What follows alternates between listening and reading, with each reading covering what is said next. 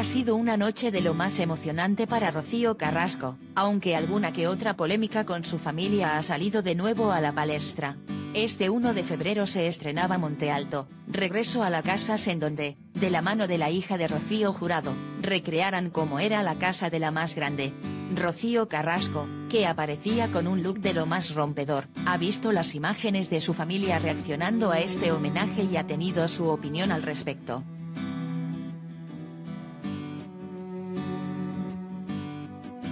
Sálvame se puso en contacto con Amador Moedano, ya que desembalando cajas, Rocío se encontró un tambor que tocaba su tío de romería.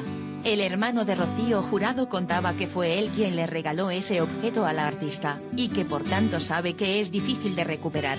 También nombró un piano blanco que tenía la más grande en su casa, y que sí que le gustaría que su sobrina se lo diese algún día.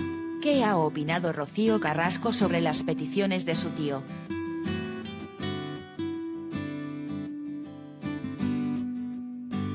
¿Le dará esas pertenencias a Amador Moedano? Rocío Carrasco ha contestado claramente que ese tambor no lo regaló Amador, pero bueno.